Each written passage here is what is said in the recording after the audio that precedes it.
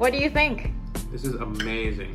Absolutely. Okay, um, Restaurant style. How much do you think will cost you to buy that? This? Yeah, dish. Probably thirteen ninety five. Thirteen ninety it's a five. one piece. It's a one piece. If it's a two piece, you're gonna you're looking at least like probably eighteen ninety five, seventeen ninety five. And a home homemade fries as well. Air fryer fries. Yeah.